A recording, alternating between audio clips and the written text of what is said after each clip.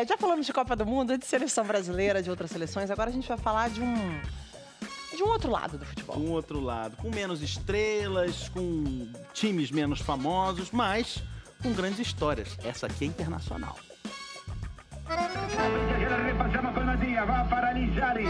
Domingo, 19 de fevereiro de 2022. Na casa do Pablo, o clima é de clássico. lo que Aqui temos um arsenal pronto para a festa. A bandeira, a camiseta do acesso, o primeiro time criado exclusivamente para o futebol. Uma linda camiseta, vermelha e azul, com escudo na altura do peito. Um escudo que mais parece um brasão de armas. Um escudo que provavelmente você nunca viu na vida.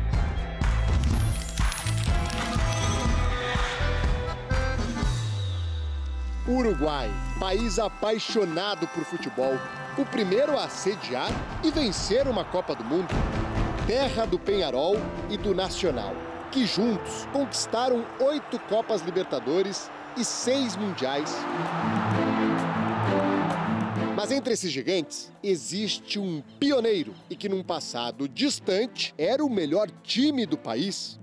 Albion Football Club, fundado em 1 de junho de 1891, o primeiro clube de futebol do Uruguai. O primeiro time criado exclusivamente para o futebol. Nas publicações do fim do século XIX e começo do XX, não há dúvidas sobre a grandeza do Albion. Hoje, domingo, grande jogo. Albion contra Penharol, os melhores jogadores de Montevidéu. Neste outro, o grande jogo de 1900 será disputado entre os renomados clubes. E olha que nos confrontos era o Albion quem levava melhor. No século XIX, quando o Penharol ainda era chamado de Kurk, foram 17 vitórias do Albion e apenas 4 do Penharol. 70 gols marcados pelo pioneiro e 36 sofridos. Foi também no estádio do Albion, lugar que hoje é ocupado por casas, que a seleção uruguaia disputou seu primeiro jogo em 1902. Mas se o Albion é tão importante assim, por que, em 131 anos de existência, é um mero desconhecido do futebol sul-americano? Al iniciar el siglo, de una forma muy acelerada, No começo do século XX, há um desenvolvimento muito rápido de muitos clubes. Nesse processo de expansão e popularização do futebol, que acontece antes em Montevidéu do que em Buenos Aires, o Albion não segue o embalo, não se adapta aos novos tempos. É só ver que alguns jogadores do Albion pararam de jogar, enquanto outros mudaram de time ou até mesmo fundaram clubes novos. Depois de um início repleto de glórias, o ostracismo.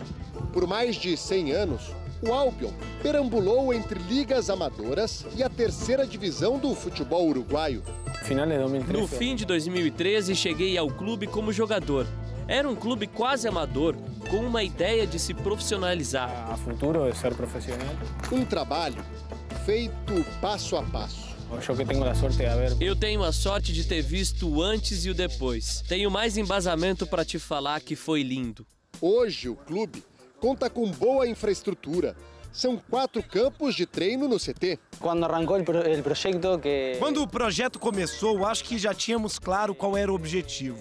Ir um passo de cada vez, escalando as divisões. E acho que alcançamos as metas traçadas a cada ano. O zagueiro e capitão Diego está no clube há seis anos.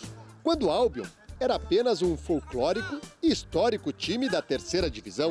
Sabíamos que teria repercussão, já que somos os pioneiros, o time mais antigo do Uruguai, e que isso iria chegar a toda a América Latina como chegou. Ver... Ver a repercussão na Argentina, no Brasil, até em Israel, foi para nós algo incrível. fue para nosotros increíble. Pois é, o pioneiro, depois de mais de um século, voltou à primeira divisão do Uruguai.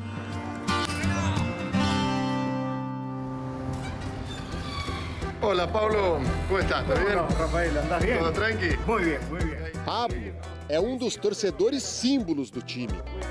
Brinco que a casa é a sede da torcida organizada. Podemos decir que es casi la sede de, la barra de Albion. Eh, pase, pase.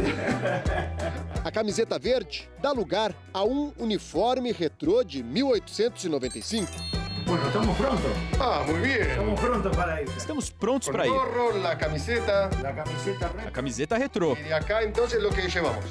Daqui vamos levar a bandeira e também os balões. Eh, los globos.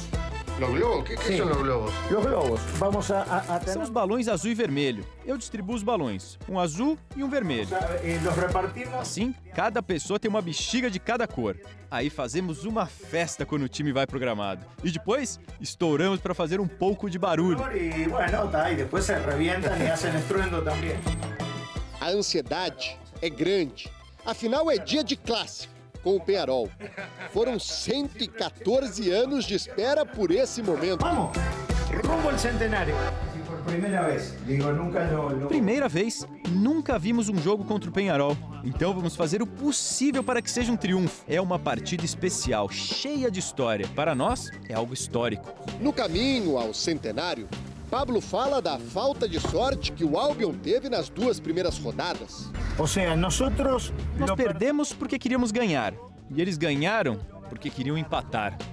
E na chegada a um dos estádios mais simbólicos do mundo, a felicidade de se encontrar com os rivais de longa data. Así fue que nos enfrentamos el último. Foi assim que nos enfrentamos pela última vez no Campeonato Uruguaio, no dia 7 de junho de 1908. A camiseta do Kurk era assim, e a do Albion era esta.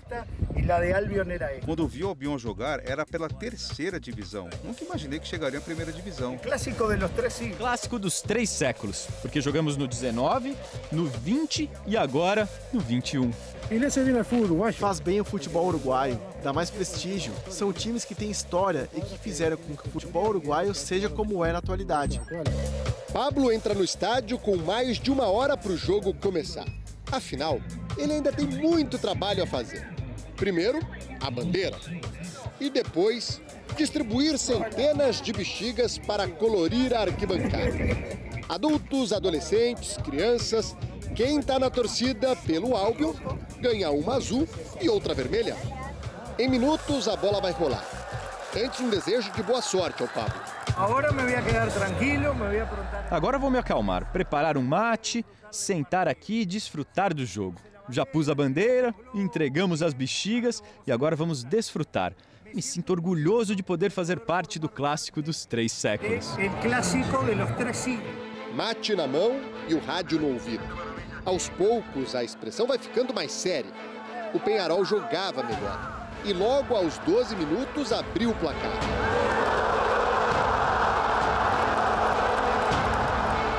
Quem está aqui no Estádio Centenário está presenciando um jogo histórico. Afinal, Albion e Penharol não se enfrentavam pelo Campeonato Uruguaio desde 1908. É claro que nesses 114 anos que se passaram, os dois clubes seguiram rumos bastante diferentes. O Penharol se tornou um dos clubes mais importantes da América do Sul e um dos mais vitoriosos, com muita torcida enchendo seu espaço reservado ali no Centenário, cantando desde o início do jogo. Enquanto isso, a torcida do Albion tem o menor número, uma torcida muito mais familiar, não há instrumentos musicais nem músicas aqui, e sim a presença de parentes, amigos, de jogadores e funcionários do clube. Mas aos poucos, o Albion, que em algum momento aqui no Uruguai foi conhecido como o time de um torcedor só, vai conquistando novos torcedores. Eu simpatizei com o time porque eu gostei muito da campanha que fizeram na segunda divisão. E agora que estão na primeira e os estádios estão recebendo público, decidi que iria torcer por eles. E depois de mais de um século, o Albion voltava a balançar as redes do rival. Na arquibancada, Pablo gritava, empurrava o time, de vez em quando ouvia o jogo pelo rádio, tomava um pouco mais de mate e ficava pensativo. Para quem se diz apaixonado por história, viver aquele clássico pelo time de coração era um sonho. Ainda mais quando o juiz apitou o fim da partida e o Albion conquistava seu primeiro ponto no retorno à elite do futebol uruguaio. Ainda mais porque o Albion manteve a tradição. No clássico número 50 contra o Penharol, empate. Continuamos sendo difíceis para o Penharol, essa é a verdade. E o time, que era sinônimo de história no Uruguai, agora mira o futuro para voltar a ser grande.